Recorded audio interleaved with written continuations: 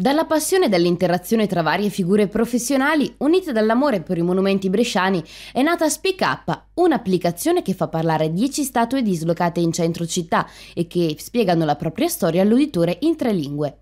Frutto di un'attenta ricerca storico-artistica, l'app è scaricabile gratuitamente dagli stores e punta, oltre a conquistare i turisti, a essere utile ai bresciani. L'auspicio è che questo esempio, quello di Speak Up, possa essere preso da esempio da altre città.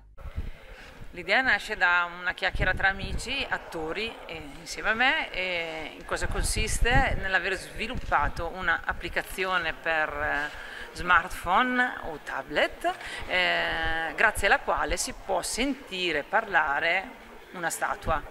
nel progetto sono coinvolte più statue, sono una decina, avviando un'applicazione che si è scaricata dai gratuitamente, si può ascoltare una volta in presenza di uno dei dieci monumenti coinvolti, si può ascoltare, eh, raccontare in prima persona la storia, la vita di, di quel determinato personaggio.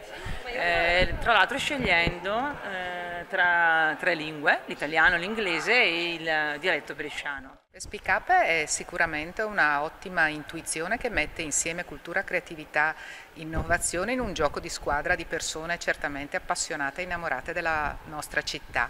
E diventa eh, l'occasione per raccontare narrare i nostri monumenti, prima di tutto ai bresciani che forse non li conoscono abbastanza e poi certamente anche ai turisti.